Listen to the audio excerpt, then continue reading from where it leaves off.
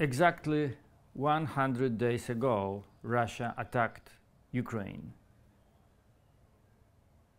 I sort of expected some sort of war on the continent, just looking back at the history and the frequency of armed conflicts.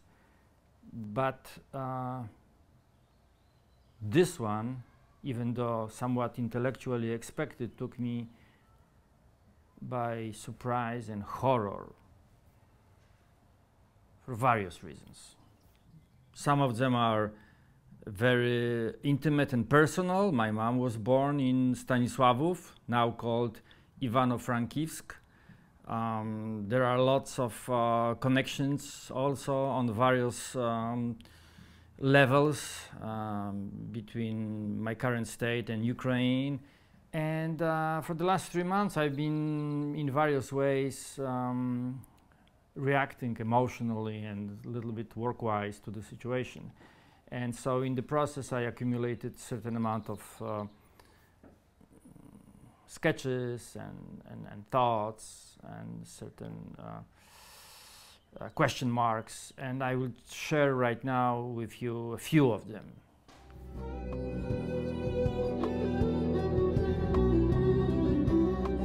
I've been uh, asked to do some video journalism concerning the refugees from Ukraine, and it took about three weeks or so for me, almost daily, to to gather the materials, and that gave me the uh, the chance to actually meet those people face to face.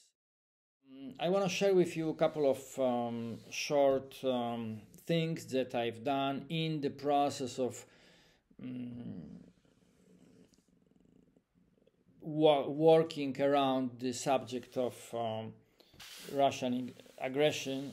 So the first one is um, a piece that I sort of sketched for myself um, when I went to witness um, the demonstration in front of the building of Russian diplomats. Norimberga dla Putina! Norimberga dla Putina! Won za dom! Won za dom! Wy jesteście na tej liście zbrodniarzy. Poznaliście siebie tutaj na tej liście? Wasze dzieci i wasze wnuki będą się wstydzić tego, że ich ojcowie i dziadkowie byli ludobójcami. Ruski wojenny krawy! Idi na chuj! Ruski wojenny krawy! Idi na chuj!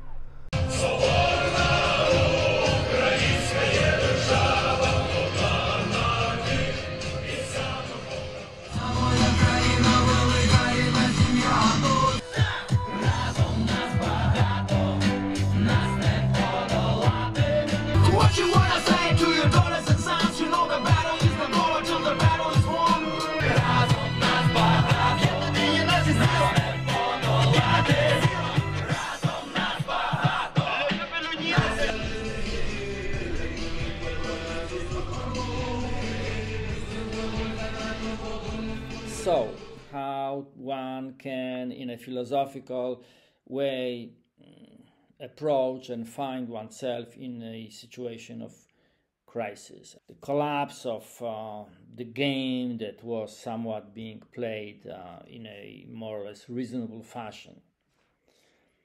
And um, I actually um, realized that uh, in addition to me asking uh, out there what are the new concepts and ideas that can relate to how should we position ourselves to what's happening if it's at all possible i should actually look back and see what's in the archive that i've done that i have.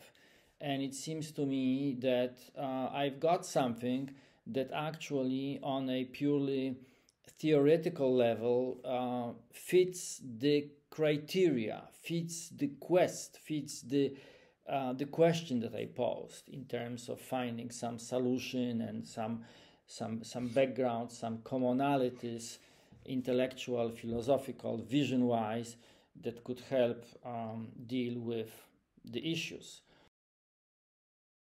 I think that my father, um, Janusz Kuczynski, when he came up with the idea of uh, universalism, which was absolutely um, novel, I think, at the time, and, and slightly crazy, crazy in a good way, mm, was uh, going in the direction that uh, was and is very much needed. But because of certain tensions and dynamics and forces around him, that thing sort of deteriorated and um, I actually think that it deteriorated due to two things.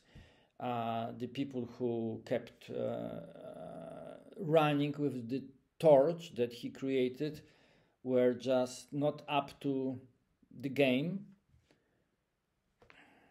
Not going any further with that. Or uh, it deteriorated because there were other people who saw the potential and they did not want for that to happen. Fragmentation, putting question marks, uh, splitting hair, um, all numbers that usually work and weaken something that can be fundamental and a springboard for a better world. And that's a huge subject. It still sits heavy on my heart. I might one day uh, address it in a, in, a, in a fuller way. But um, one of the people who actually um, um, followed my father was uh, and is John Rensenbrink, and that brings me back to the project Ontological Imperative. John is coming up with the formula that on the intellectual, uh, emotional, metaphysical, uh, rational level uh, should be perfect, solid, inspirational to create something uh, that can uh, turn the tide.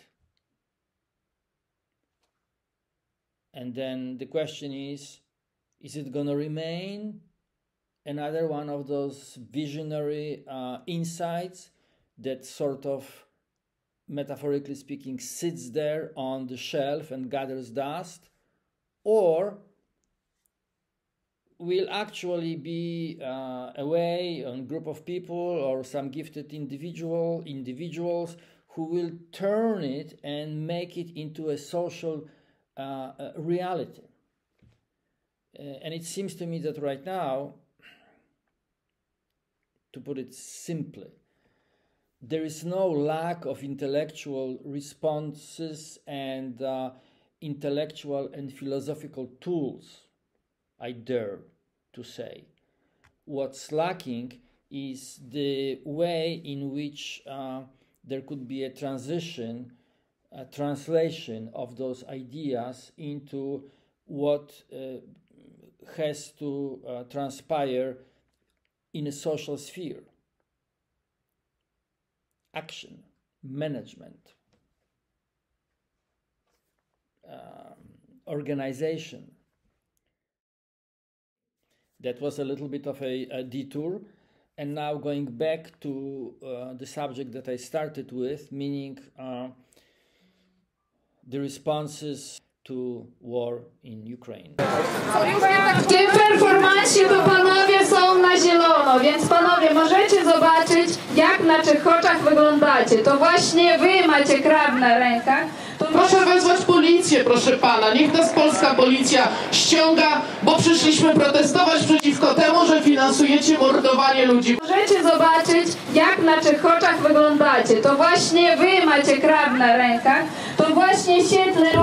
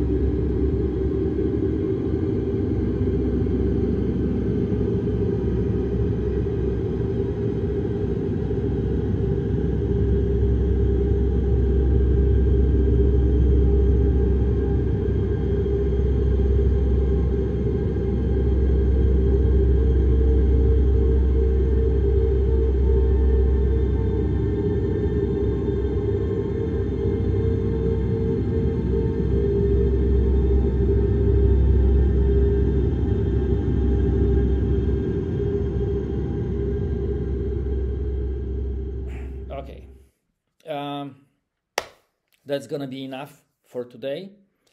Uh, next installment is going to return to the ontological imperative.